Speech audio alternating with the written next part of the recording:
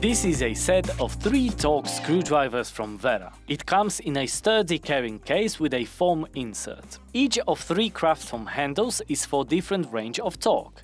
0.3 to 1.2 Nm, 1.2 to 3 Nm, and 3 to 6 Nm. To adjust the torque, simply press the plastic collar and turn it 180 degrees for one step adjustment.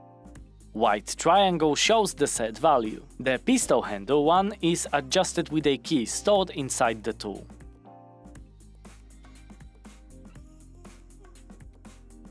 To mount one of included Hex Plus, Torx or Torx Plus bits, use Rapidaptor on the end of every handle. This Wera's original mounting system allows for quick changing and keeps bits safe in place. With every set you get documentation including calibration certificate. Remember to store your torque tool set to the lowest value.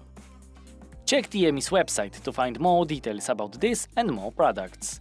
Browse through over hundreds of thousands of items and get everything you want. TME.